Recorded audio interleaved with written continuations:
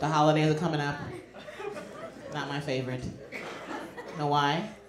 Eating. I eat my body weight in gravy and frosting and joy, all the things.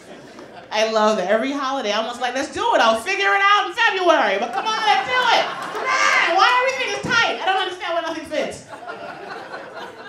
I would rather have a glass of urine than work out. Do you understand? I would rather have a glass of urine with fucking hairs in it than work out. I hate, I hate exercise. I can't stand it.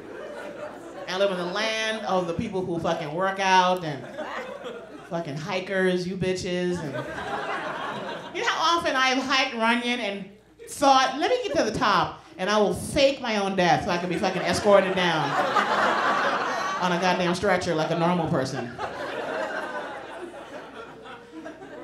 I've done a lot of things unhealthy though to lose weight. Like I know now how to lose weight the proper way. Like who here has done the juice cleanse? Come on, veggie cleansing. It's fantastic. It works. Your skin, it's amazing.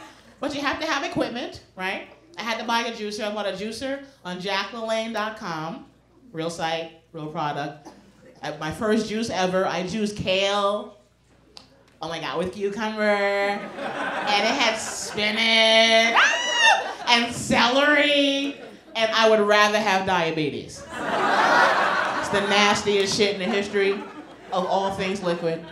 And my skinny friend told me to put beets in there. It looked like a massacre in the bathroom. I thought I was dying. I thought I was on my last days. I'm like, why is it this color? What the fuck is happening inside of my soul?